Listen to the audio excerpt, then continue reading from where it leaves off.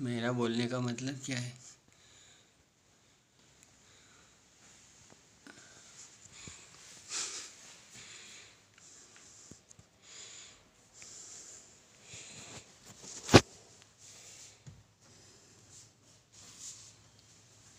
पीछे से भी कंप्लीट ही होती। है